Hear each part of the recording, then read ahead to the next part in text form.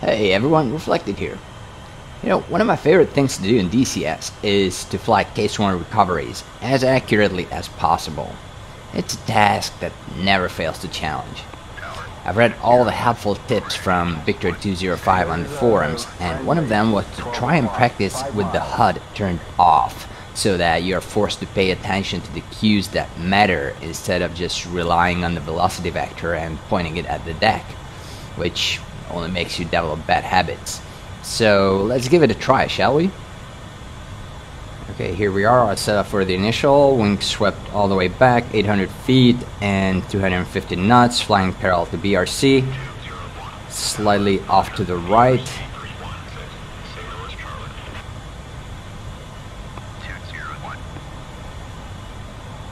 We can have a good look at the deck, make sure it's clear. Now I'm looking at the VSI to keep the aircraft level, but it's quite difficult. There, deck is clear. And normally I would break right now. However, I'm gonna give myself more time to, slow down, so I'm gonna wait until one mile, 0.9, and one mile break, throttle back, boards out, level turn 800 feet pull pull. Okay wings auto. 250 gear down. Trying to keep the turn level. 220 flaps down. Now it's really difficult to come out at the right distance of beam. DLC engaged, that's right. Down to 600 feet. Trim, trim, trim, slowing down. Looking at uh, the AOA indicator. Oh, I'm too wide a beam. I'm too low as well. Down 1.4, so I have to begin my turn now. I also have to make it a shallow uh, angle bank turn, like 20 degrees. And I'm way too low, so I'm gonna make it a level turn until the 90 instead of 2 300 uh, feet per minute descent. I'm more or less on speed, a bit too fast still. Looking at the VSI, the altimeter, the AOA.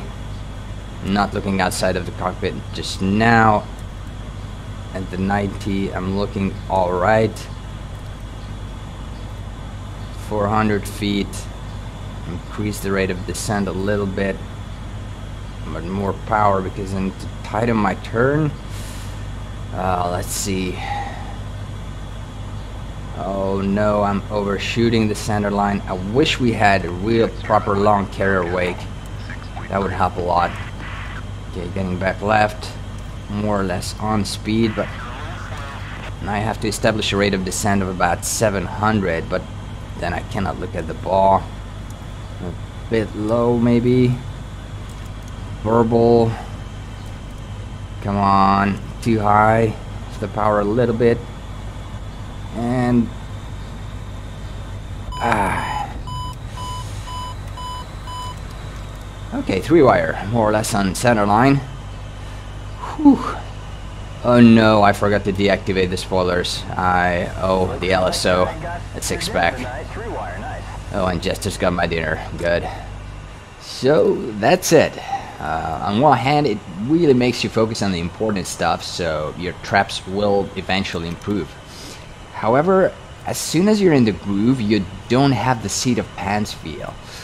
You need to look at your VSI to know what your aircraft is doing, but then you're not looking at the ball in real life, the effect of throttle adjustments would be easily felt by the most accurate instrument in every aircraft, that is, your butt.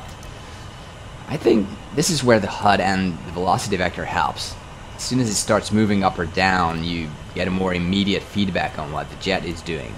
Nonetheless, I highly recommend you try it and start practicing. By the way, in case you're wondering, this was not my first attempt. It was my second. Okay, it wasn't my second either. Alright, see ya.